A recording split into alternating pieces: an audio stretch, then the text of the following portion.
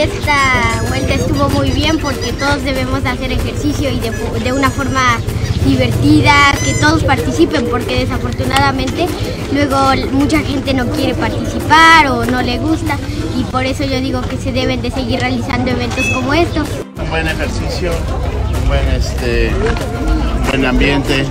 Queremos agradecer a la diputada eh, este rodamiento que hicieron posible, muy bonito desde luego, y también a los organizadores, no solamente ella. Vamos a agradecerle en nombre de la familia Maldonado García y los amigos que invitamos del pueblo San Gregorio a este recorrido ecoturístico, histórico también porque San Gregorio es parte de la historia de la Revolución Mexicana y esto es parte del puente de la historia mexicana de Emiliano Zapata, los ejidos, las chinampas donde los zapatistas se refugiaban para combatir a los federales en aquella época, combatiendo a, a, este, a Porfirio Díaz y a Orlando Urrutia. Entonces, esto es ecológico y es histórico. Es una belleza lo que hay, más que falta difundirlo. ¿sí? Lo que acabó de decir la señora, eso es muy cierto.